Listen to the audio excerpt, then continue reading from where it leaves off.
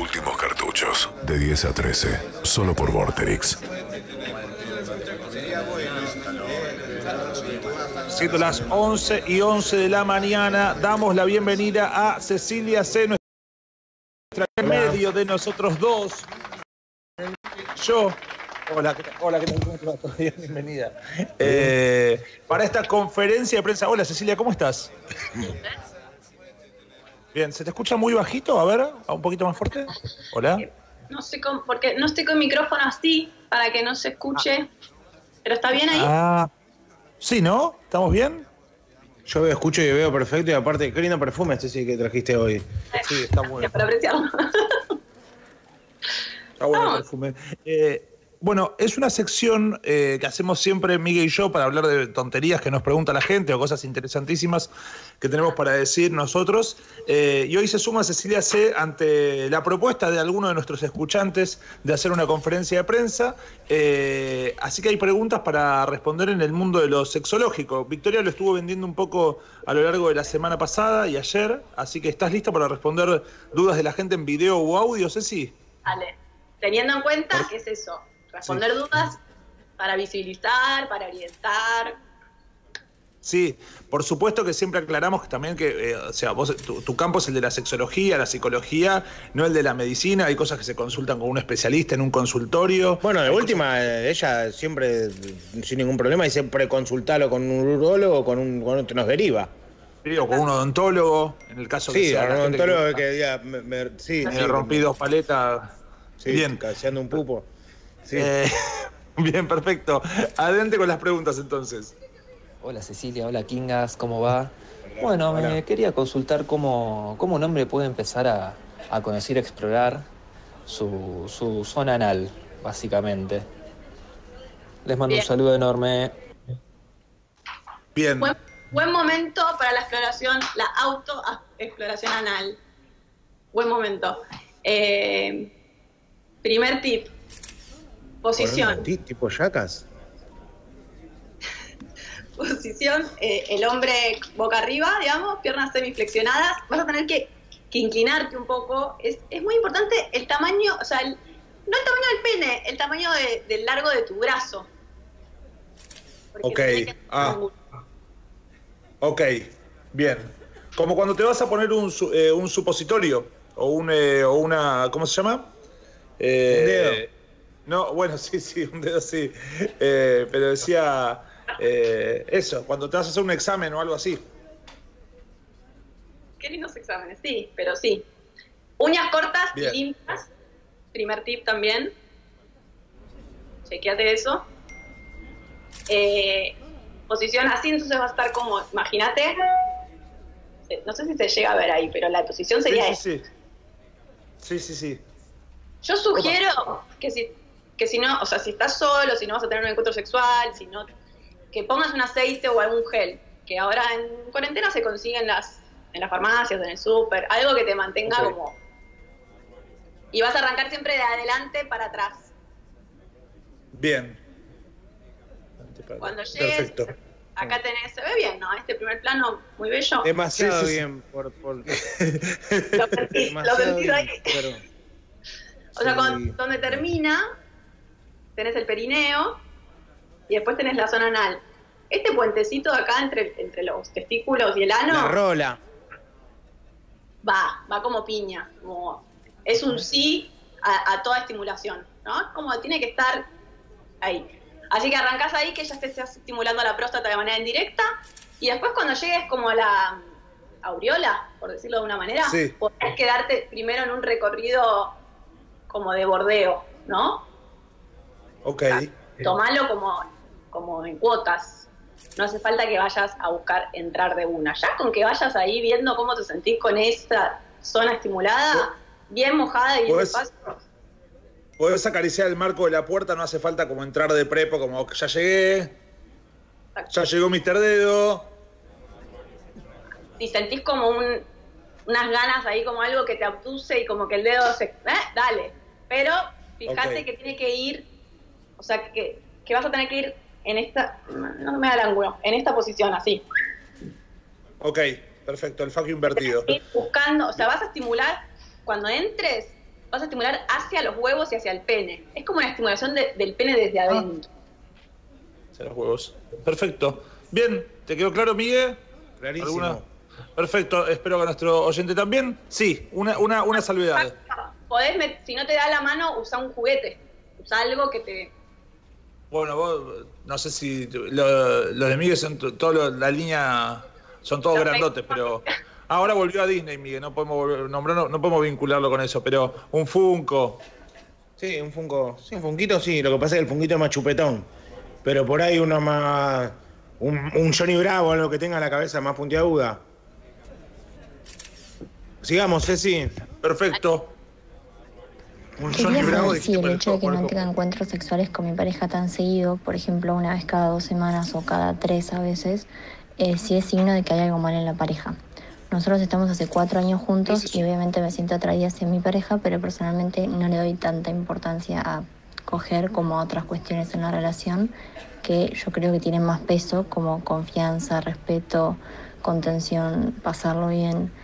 Eh, últimamente estoy preocupada, digamos, porque mm, todos le dan tanta importancia a la frecuencia o al encuentro sexual con la pareja que ya, pensé, pens- ya empecé a pensar si hay algo mal en, en nosotros, en la pareja, eh, y no sé si estoy ignorando un problema o si estoy haciéndome un problema donde no lo hay. Ok. Igual se contradice. Yo creo que esta pregunta no es para, no es para mí, es para tu pareja. Es para vos y para tu pareja. Eh, o sea, la persona que tiene la respuesta a eso son ustedes. La realidad es que la, la fre- o sea, yo no te voy a decir si vos te sentís mal con algo, digo, eh, eso es- depende de cómo son ustedes y creo que necesitan eh, el diálogo de los dos. La frecuencia, el número de, fre- de cantidad de encuentros no es criterio de nada en sí mismo. No nos dice nada, ni que me digas dos veces, eh, tres, cuatro, cada 15, cada 21, cada... No, no es criterio de absolutamente nada, es un número. Eh, así que es una pregunta para que charlen entre ustedes, vean cómo se sienten con eso y si quieren hacer algo. ¿O no? Bien, me parece, sí, es muy personal, digamos. Yo tengo la teoría, va, no sé qué pensás vos, pero la- el sexo es uno, uno de los diálogos posibles con, con una pareja sexoafectiva, si querés. Eh, después van a, a veces van ganando espacios otros, o hay momentos donde tenés otros diálogos, no sé, la ternura, la confianza, todos esos que ella enumeraba, y a veces este, como que cae unas, unas posiciones en el ranking. Sí. ¿No? Por eso está bueno chequear, como, che, vos te sentís, ¿estás bien con la frecuencia que tenemos? ¿Te sentís cómodo? ¿Te sentís que te te gustaría más? ¿Te sentís que nos estamos quedando medio estancados? Rezagado. Eh, Sí, totalmente, totalmente. Eh, ¿Tenemos otra? A ver. Hola, soy Hernán y mi consulta para la licenciada Cecilia C es si ella recomienda los jabones vaginales. No. ¿Qué son, Ceci? ¿Qué son? Jabones. Hay, hay productos que te venden para que te limpies, hay un montón. Un montón de cosas que se venden ¿Pero para qué? para lavar la vagina. La vagina. ¿Pero no es el jabón común? No, no, no, es un jabón eh, como, como un cosito de shampoo. eh, en general es un pote blanco, ¿no? Son unos jabones especiales. Eso, jabón líquido es. La verdad que ni conozco porque sé que, que están con- contraindicadísimos, así que no es un mercado que exploré porque justamente no hay que ni, ni decir ni nombrarlo para que no se conozcan. eh, Ah, mira. como eh, porque la vagina, el- o sea, vagina, diferenciemos de la vulva, o sea, lo de adentro. Estamos hablando del Sí, claro. canal vaginal, lo que está adentro. Ok. Eso no se lava, o sea, vos cuando te duchás no tenés que meter adentro Claro, nada. Es autolimpiante, como los gatos. Se lava Ok. lo que sí lavas es la bien. o sea, la parte de afuera, pero siempre como desde arriba, o sea, siempre desde la pelvis, desde el pubis. Cupcake. Ahí va. Le pones por ahí un poco de jabón ahí, pero jabón neutro, tranqui, no hace falta ni, ni exfoliante, ni pasarte la como que va cayendo el agua de adelante hacia atrás y si te limpias como los labios y el capuchón y eso sí, pero nada más. El capuchón. Bien, perfecto. Eh, tenemos más preguntas. ¿Cómo está saliendo el audio, no? Con las preguntas de, de sexo. Eh, para poco- no mostrar la cara y poco también video, video. poco video, poco está bien, pero bueno, ser. Está mejor. bien, bueno, está Quizá bien. cuando lo resuelvan después dan la cara como que ahora saben todo, ¿viste? Triunfante. A ver, ¿hay más? Hola Kingas, hola Cecilia, ¿cómo andan?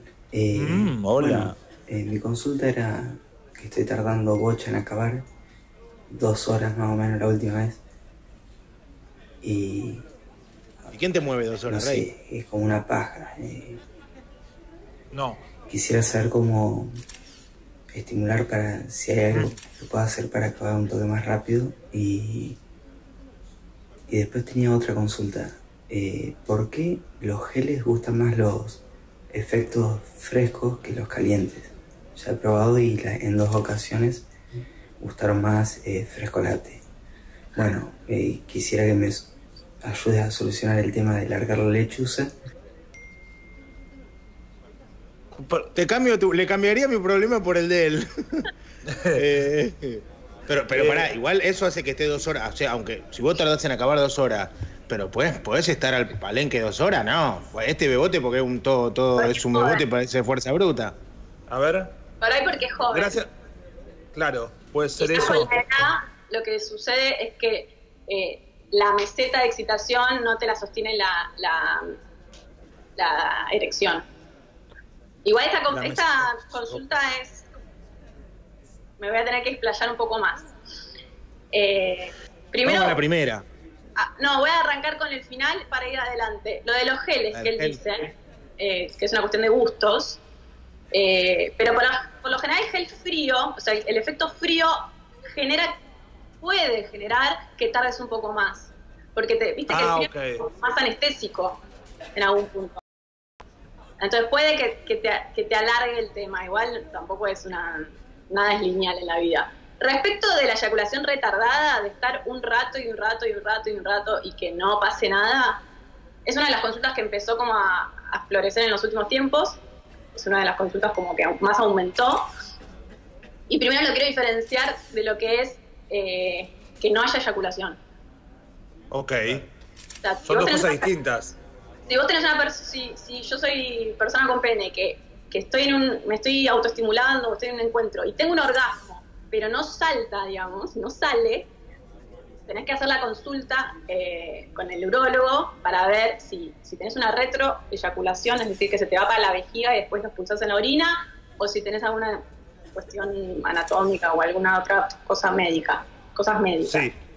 Pero lo que se hace es que después de- del orgasmo hagas pis a ver si tenés ahí que te salió por la vejiga. Ah, ok. Es retroeyaculación, que es lo que les pasa a las personas por ahí que tienen una intervención en la próstata. Las cosas A veces médicas. cuesta igual. Cuesta mucho, me- cuando te cuesta mucho hacer pis después. eh, ¿Es por eso?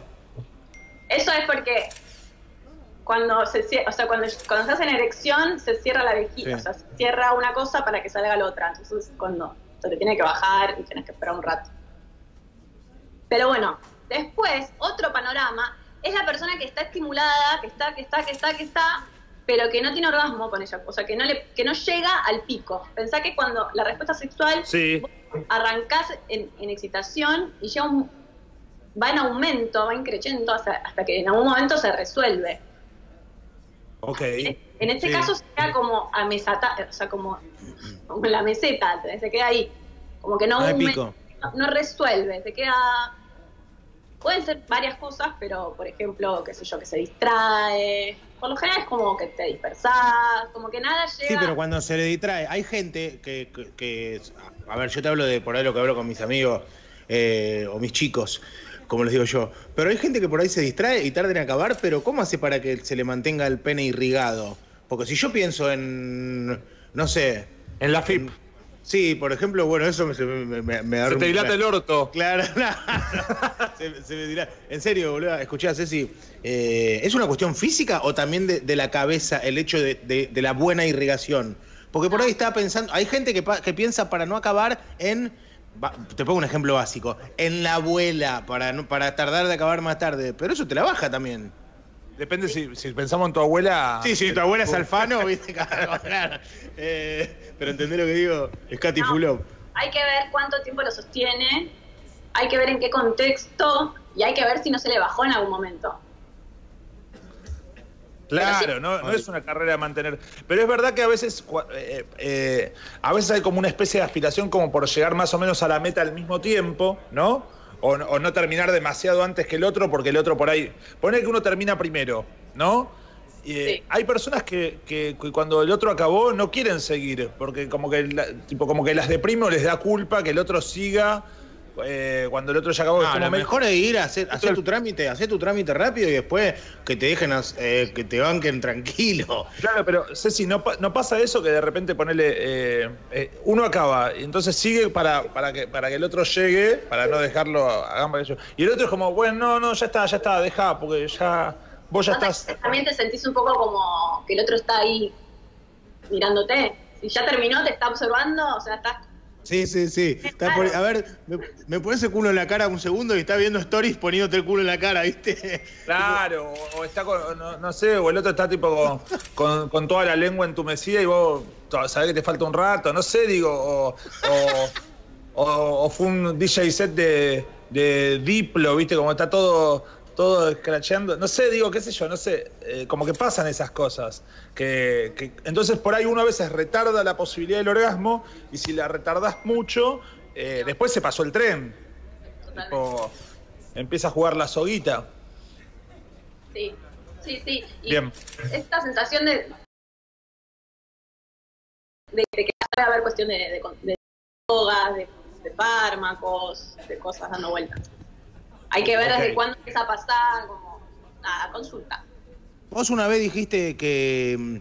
Que el porro y la- Sí, que, el- que la marihuana y, el, y era matadora, aplacadora, inhibidora de líbido. eh, y demás. Libido, no sé cómo se llama. Eh, mm, escúchame, ¿eso tiene un tiempo de recuperación? Por ejemplo, hay gente que no le funciona así. Lo normal, que en base a lo que yo hablo y, y demás, eh, es que al principio es increíble, pero después como Claro. que ya te deja en un estado de zombie. Sí. Zombieland. ¿Se te va después? ¿Se, se va eso? O sea, si dejás de fumar un poco. A mí en los viajes que, por ejemplo, no pego, eh, juega Roca Cherniaki y acá juega Bavolti. Depende igual cada o sea, depende cada cuerpo. Yo Claro. cuando, cuando laburaba en adicciones, les daba como por lo menos tres meses de desintoxicación mínimo para que sientan un cambio a nivel conciencia, digamos. Tres meses.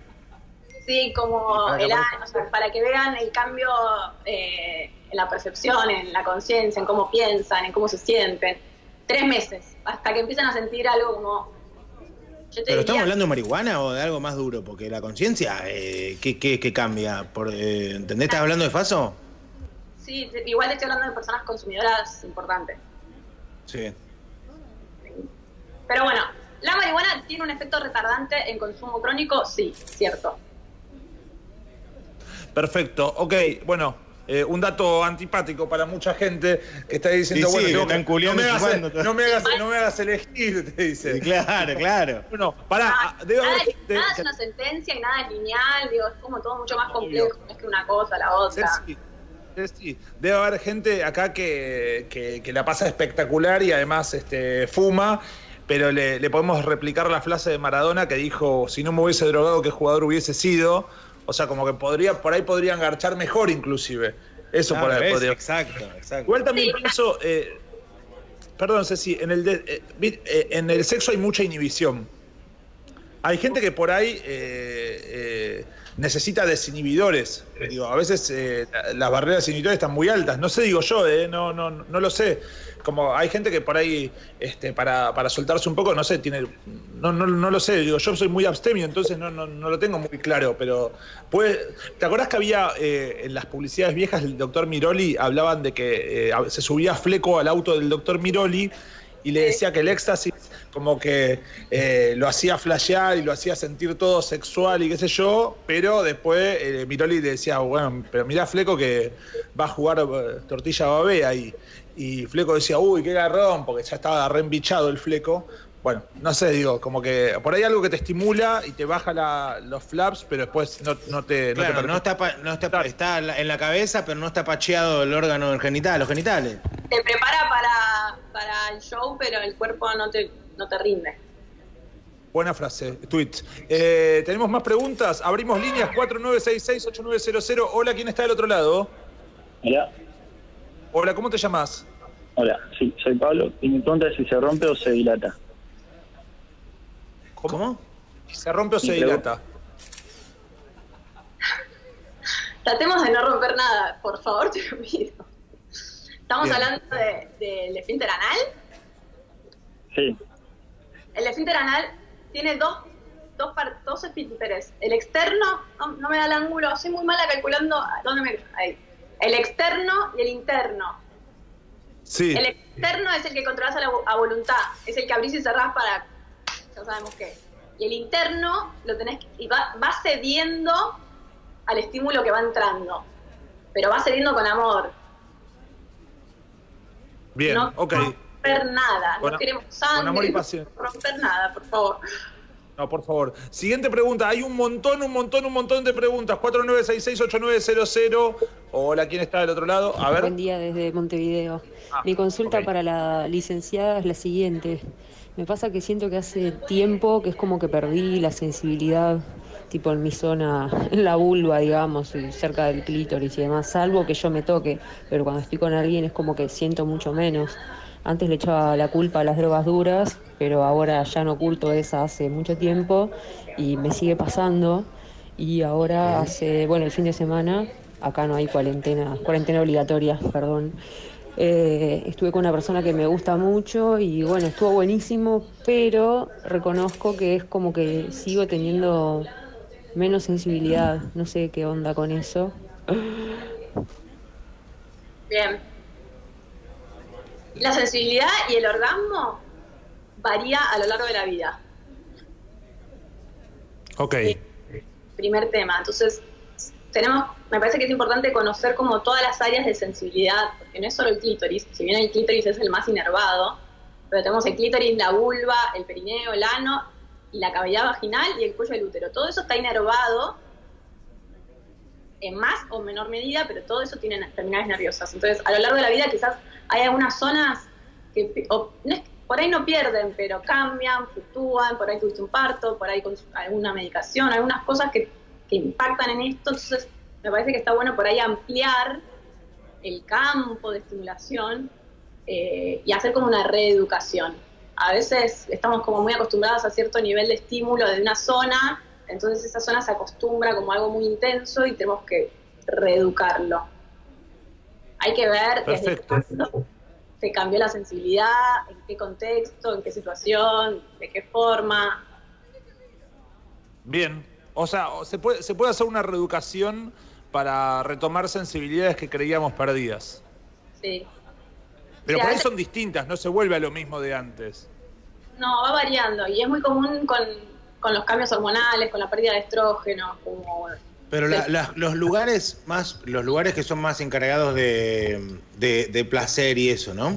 ¿No pierden también un poco de como de como tipo el touch? ¿No se va perdiendo un poco también con el tiempo, con el uso? Tiene vida útil, decís. no sé si, no sé si esto yo no soy especialista en, en nervios, así que no, no sabía decirte, pero sí la gente re- dice que hay un cambio. Y, y la realidad es que la respuesta sexual se va volviendo más lenta. Y por eso tardás más en tener una excitación, tardás más en llegar al orgasmo, el, el Sí. orgasmo debe ser intenso, eyaculás menos, después tardás más. Yo a los a los siete años garchaba de mucho más power y sentía mucho mejor que ahora que tengo 33. Yo igual Por alguna Creo razón que- te creo. Viste que hay una cosa de que los primeros orgasmos de tu vida nunca van a ser, o sea, nunca vas a llegar a ese orgasmo porque queda en un No, lugar obvio. fue el que descubriste y fue lo mejor que te pasó. Eh, después va, además que la cosa se va complicando, estás mucho más con, más neurótico, más grande. No, No, tan más vale. Aparte, no es, no es lo mismo la primera vez que vas a ver a David Copperfield y el chabón vuela en el escenario, que vos decís, uy, Claro. es impresionante. Después ya lo ves es de vuelta y decís, lo ves al mago Emanuel ya la última vez. Por Al más que mago sea Chester. Copperfield. Tenemos más preguntas, está lleno de preguntas. Hay mucha gente mirando con ganas de saber cómo disfrutar del sexo. ¿Por qué? Porque es gratis. Eh, 11 y 35, tenemos las líneas abiertas. A ver. Resulta era que yo hace más o menos tres meses eh, terminé con mi relación de dos años y yo durante la relación tenía deseo por mi pareja y también por otras personas y, y conmigo misma y todo, pero desde que cortamos no logro excitarme ni tener deseo por nada, ni por nadie, ni conmigo misma, ni con mi expareja, ni nada. Y no sé si hay alguna explicación para eso o cuánto tiempo va a tardar hasta que vuelva a pasar o, o- o qué. Encima te agarró el duelo en plena pandemia. O sea que, eh, Mejor. Te, te bajó el deseo por, por el duelo, me parece. Es algo esperable, lógico. Eh, estás duelando, estás en pérdida, el deseo se toma un tiempo hasta que vuelve a arrancar. Igual, hay- igual Ceci, eh, viste que hay mucha gente que, que- de que después de un, de un cementerio este, le dan ganas de garchar. Ah, sí. Como que hay algo de- del contacto con la muerte que a veces erotiza, este, ¿no? Tener un, no sé, algo medio ya de, está de entrando eso. en terreno mucho más oscuro, Rey, como de, de- No. de estar con muertos, ¿decís? No, no, no, no. No necrofilia. Estoy Ah, diciendo. Ah, ah, pues un montón, eh, Rey. No, no, no. Que, lo hay también, eh, pero digo, no, no, no estoy hablando de eso. Estoy hablando de, de gente que por ahí, ante la pérdida de un familiar o de un amigo, qué sé yo, algo de eso, la. No sé, la conecta con Y cierta. es como reírse, sexual. es como cada- cuando te tentás en el velorio, es más o menos, se te Claro. altera otra, otra emoción. Sí, puede ser que decís, a veces la actividad sexual te distrae, a veces las emociones negativas las canalizas en la actividad sexual y a veces es una forma de conectar con la vida. Yo me acuerdo que me contó una chica una vez que eh, había perdido un hijo y, y lo duelaron teniendo relaciones con su pareja porque era la forma de conectar de vuelta con la vida, entonces es todo muy relativo. Eh, y hay gente que cuando está mal... una- Te escucho, Ceci, cuando está mal, gente, cuando está mal, termina, por favor. No, que cuando está mal eh, no- no- se le va la libido completa, no se masturba, es como se, se, retrae la energía, está como... Se apaga. Una pregunta, a ver qué piensan ustedes, que es interesante el otro día lo hablaba también acá, no es autorreferencial ni nada, pero las cosas que a nosotros nos gustan son cosas que, a ver, que consumimos y tuvimos la elección de que, de que su forma estética nos guste. Vamos a un ejemplo. Si yo eh, eh, nací en una selva y mi novia también y nadie más, ¿yo en algún momento llegaría a chuparle el culo?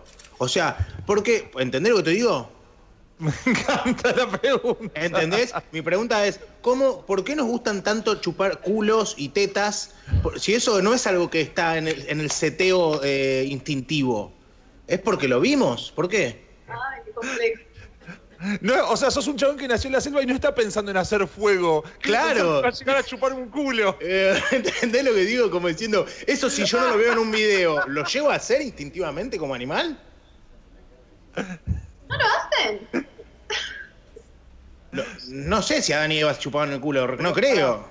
Tengo una pregunta anterior a esa. Eh, ¿Viste tu perro, que es un caniche toy? No, no el de perro de nadie, digo, como tu perro que es un caniche toy y que está en el parqué del living de tu casa y de repente empiezas a hacer así con las patitas como si quisiera enterrar algo. Sí. Tienen el seteo. Sí, el seteo de frotarse, de- de- del seteo de frotarse sí, pero me refiero a cosas que evolucionaron, chuparse, tocarse, eh, lo sensual, el erotismo, todo eso lo, lo adquirimos porque lo vemos, ¿o no? Ceci, ¿qué pensás?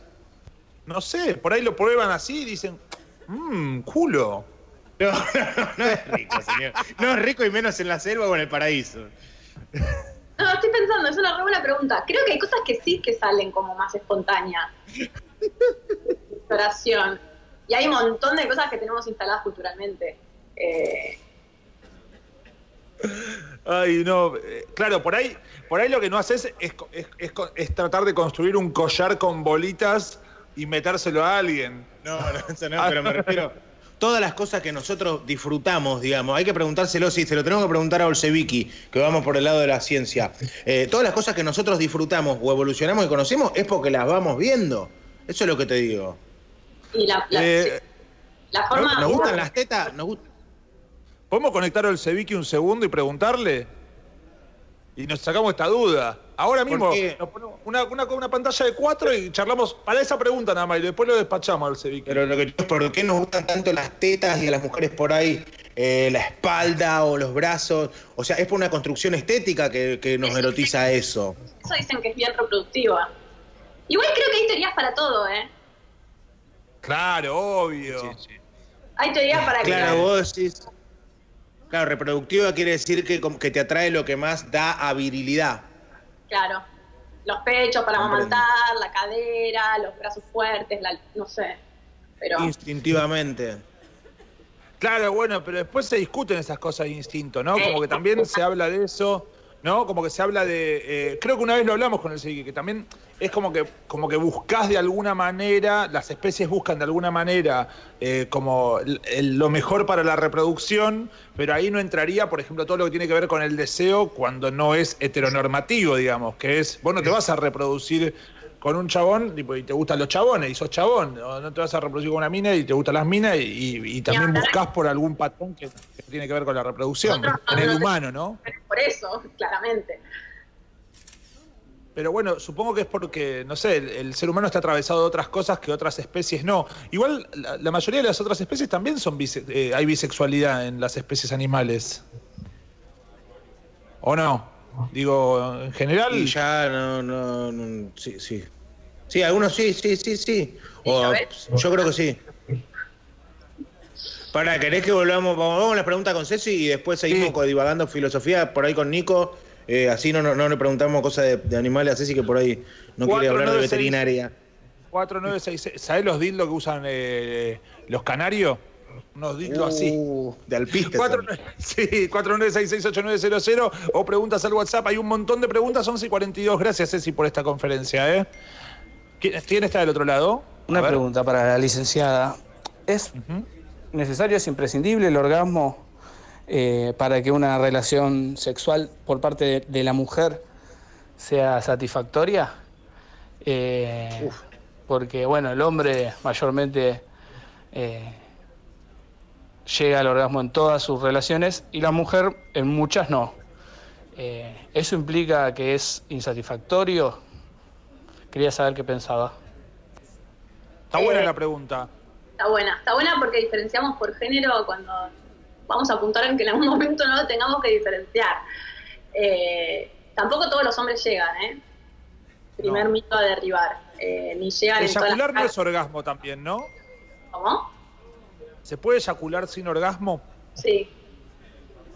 Y que un garrón, es como ensuciar, es para ensuciar nomás. Y claro, la mierda.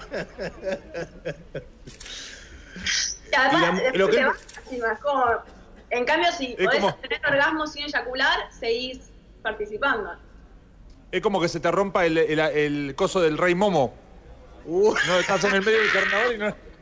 Y tenés que apretar así el piquito de ese finito.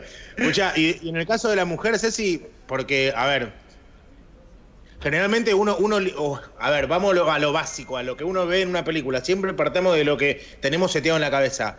La mujer que parece que está todo el tiempo, obviamente está armado un video porno para que lo consumamos. Lo, No, lo- claro, no, no sirve, no sirve, todo no el sirve el tiempo porno como ejemplo. Olvídate Por eso. Claro, no, Olvídate. no, pero. No, pero pará, pará. va- Vamos, yo, yo retomo tu pregunta, pero desde un ejemplo más pragmático.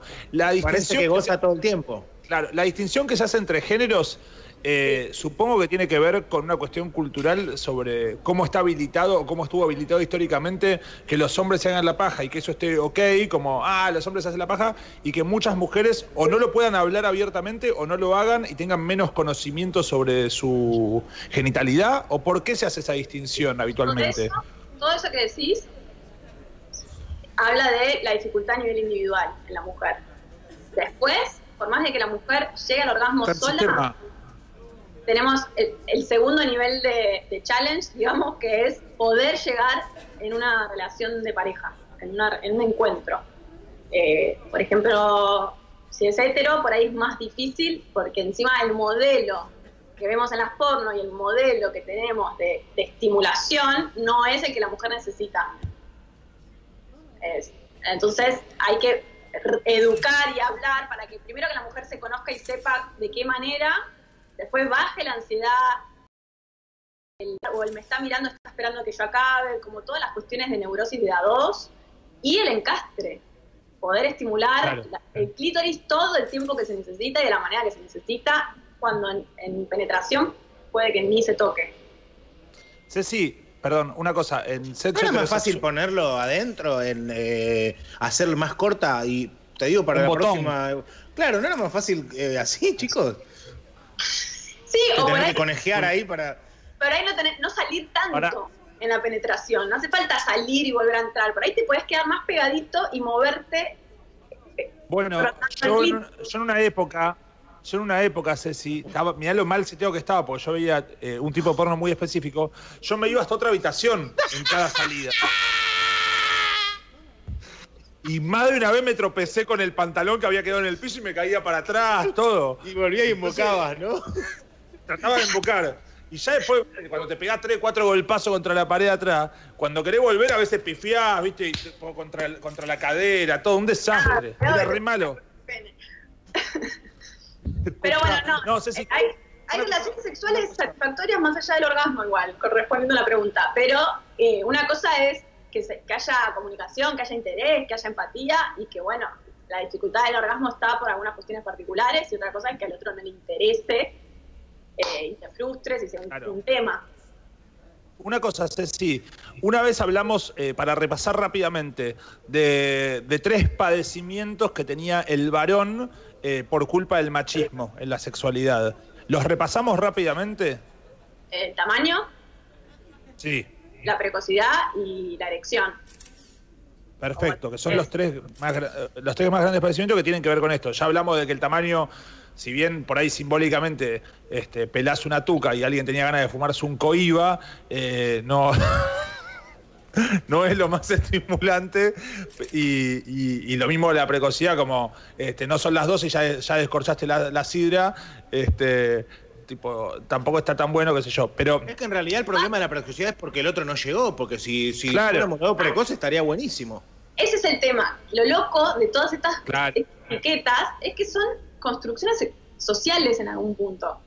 Eh, hablamos de eyaculación precoz porque hablamos ahora de que hay que disfrutar del tiempo, de la insatisfacción del otro, del tiempo, porque en otro momento, en otra época, la eyaculación precoz no existía. claro Entonces Ahora- es muy... Dale.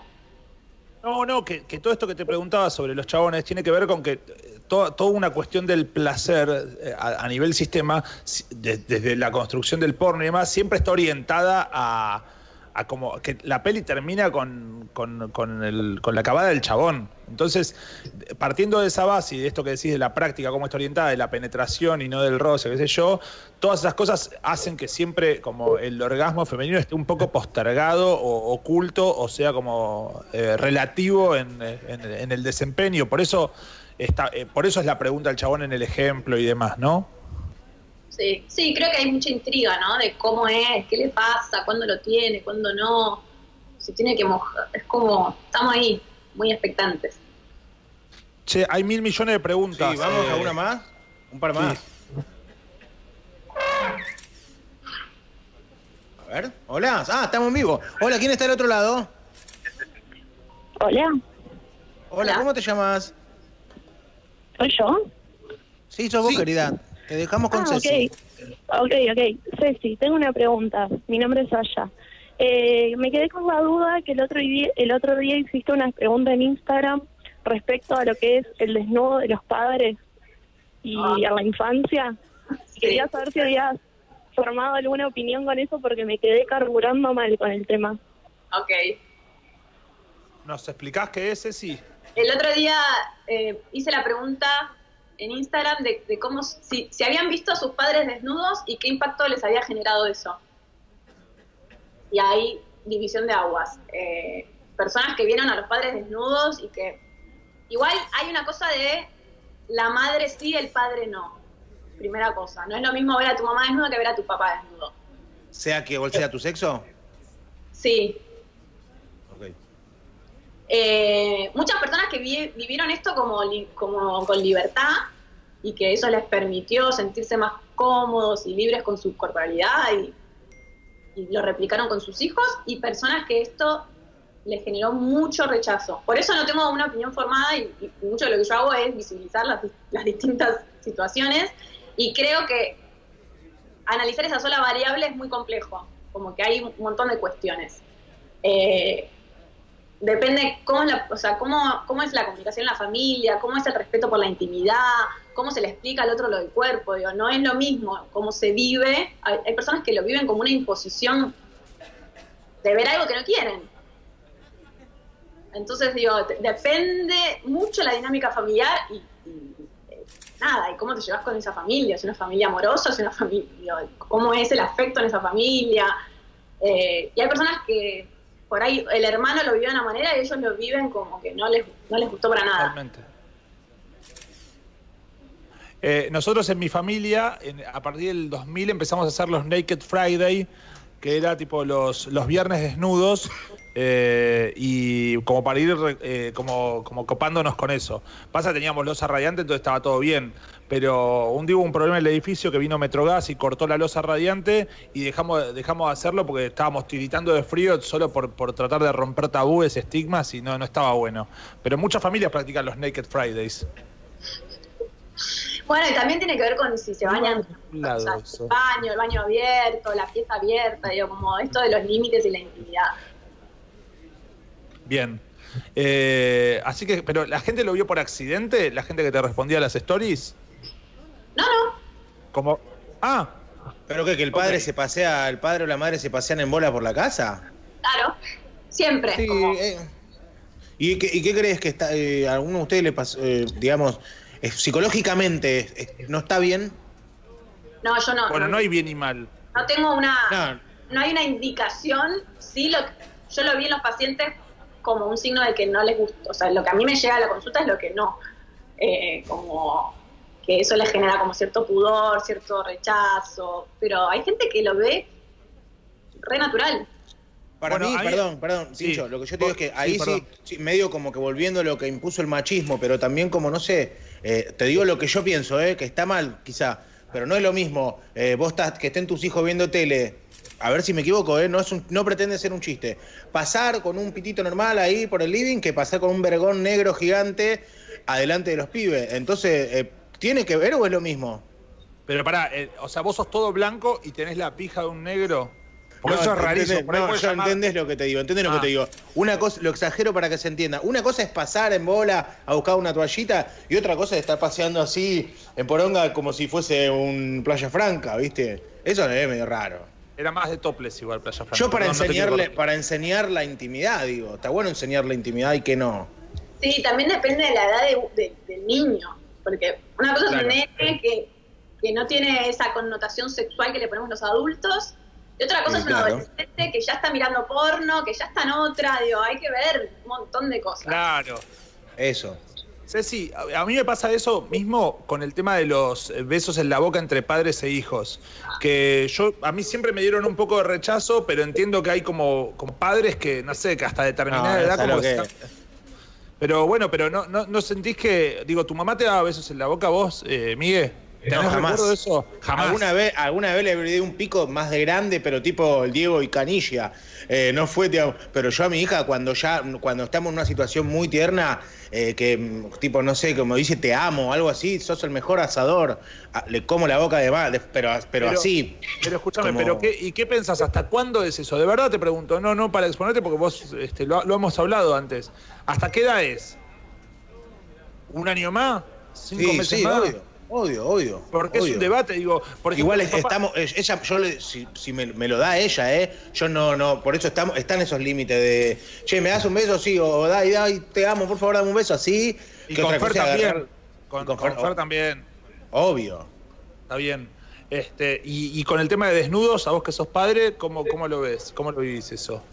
Eh, yo, y yo no salgo de bañarme y ella está ahí y me tapo. Por ahí Fer- a Fer la ven tetas, y en- pero porque, porque nada, son más de ella que de Fer las tetas de Fer. pero, Claro, claro. Eh, Son sus, es el, el packaging de su alimento, fue. Claro, claro, claro. Ok, bueno. No, está bien yo porque, porque no sé. Yo porque mis papás son cero, tipo, siempre fueron cero franeleros conmigo, ¿viste? Como no son muy de, de ay, qué hermoso, no sé qué, ¿me entendés? No es, no es ese plan.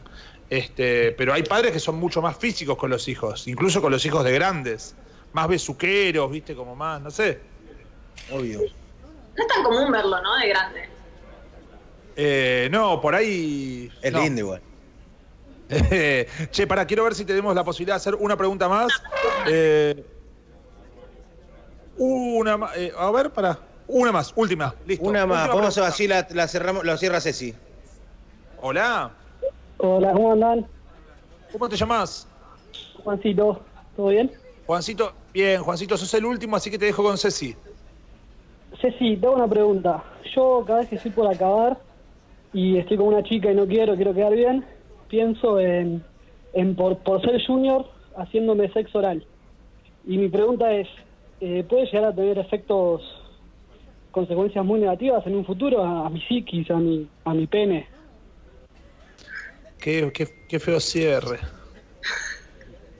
Juancito. Para, para, para, vamos con, vamos con otro en serio. Porque está, o sea, la, la cantidad de mensajes que tiene esta eh, Ceci, eh, eh, gente que realmente quiere preguntar cosas, no te la queremos bajar, a nosotros nos encanta joder. Pero como recién jodimos, queríamos hacer un cierre para que cierre ella, que hay mil personas queriendo preguntar cosas de verdad. Eh, Juancito, te- eh, hablando en serio, fuera de joda, no corta mambo, te anotamos el celu y te llamamos para un juego o algo y rompemos las bolas. Dale, pero no de, Uy, de- de- verga, boludo, lo pensé No, pero- horas. Pensé No, que- pero no, dos no, horas. no de cortar Está bien. mambo, en serio. No de cortar Juancito, mambo, pero. de- después, después llamamos para una hacer reír a, a, a. Dale, dale, dale, no Eh, te enojes. Todo, todo No bien, lo mejor, lo mejor. No, enojes, Juancito, te mandamos un beso, Rey. Eh, aprovechemos que está Ceci para hacer una pregunta en serio. Hola, ¿quién está del otro lado? Hola. Sí, ¿cómo te va? ¿Todo bien? Hola. ¿Cómo andas? ¿Todo bien, Martín? Bien, Rey, ¿cómo te llamas? Alejandro, ¿Tenés una pregunta en serio, Ale? tengo una pregunta súper en serio.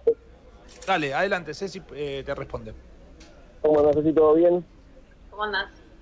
Mira, eh, mi pregunta va relacionada por el tema de la masturbación. El tema sería, ¿en qué medida influye la masturbación o la manera en la que yo me masturbe con el acto sexual? Digamos, por ejemplo, eh, pensando en poner en la, la- un poco más chico que me masturbaba súper escondido y no sé, en el borbotón de estar en el baño escondido tardás dos, tres minutos. En el acto sexual puede ser que influya esa misma, ese mismo tiempo, digamos, o sea, voy a, voy a durar ese mismo tiempo, o cómo tendría que trabajarlo. Ningú- ningú- vuelvo a decir lo que digo un millón de veces. Ninguna cosa es determinante. No es porque vos, porque te hayan apurado, vas a estar apurado, eh, o que porque te tocabas de una manera va a ser así. Pero sí, si tenés una dificultad eh, de tiempo, de ansiedad, habría que elaborar eso, como poder tocarte y darte el tiempo y estar tranquilo para reconocer la sensación preorgásmica y para reconocer las sensaciones corporales en ese momento. No se escuchaba bien la pregunta. Sí. Sí, sí, perfecto, se entendió perfecto. Perfecto. Bueno, genial. Per- Perfecto. Gracias, querido. Gracias, querido. Gracias, muchísimas Este, bueno, por favor. Ceci, eh, explotó el consultorio online, la conferencia de prensa con Cecilia C. Eh, por supuesto que quienes quieran seguirla es arroba leak.c, ¿no? O Cecilia C. ¿Cómo es? Punto Arroba Cecilia C. leak. Punto Cecilia C. Eh, gracias por coparte, gracias por salir. Bueno, hacemos así. Después de tanto, después de tanto tiempo sin vernos, aprovechamos y hacemos este todo juntos. Muchísimas gracias, Ceci. Gracias, mi querida. Besote. Beso grande. Gracias a todos. Nosotros seguimos con últimos cartuchos. Uh, mirá. 21 Pilots, Level of